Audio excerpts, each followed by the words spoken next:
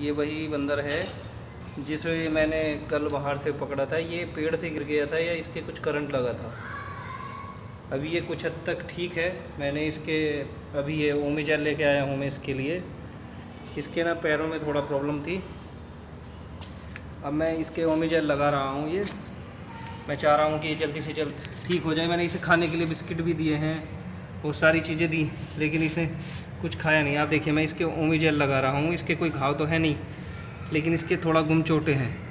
तो मैं सोच रहा हूँ इसे ओमी जेल लगा दूँगा तो इसके कुछ आराम हो जाएगा। अब देखते हैं ये, देखिए, क्योंकि इसके घाव तो इतना कोई खास लग नहीं रहा ये पेड़ से गिरने की वजह से पकड़ नहीं बना पाया था अपनी, जिसके कारण इसके दोनों पैरों में फ्रैक्चर है लेकिन इसकी कोई हड्डी नहीं टूटी है। और देखिए आप, ये कैसे घिसड़ के चल रहा है। आप देखिए, ये अब भी मुझे इस परिस्थिति में भी काटने के लिए तैयार है। अब ध्यान से देखिए।